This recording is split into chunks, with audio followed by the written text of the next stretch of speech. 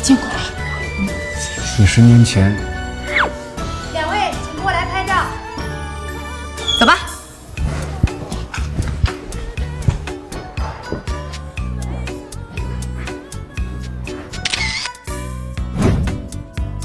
杜总，今晚你们就生米煮成熟饭，那顾英就是你的人了。只要他真的是黄花大闺女，这一千万的投资啊，肯定是你们的。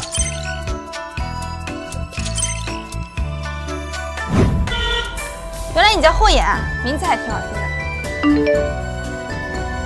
死丫头，赶紧给老子回家！给你十分钟，否则别怪老子不客气。就这么急着卖女儿吗？我偏不让你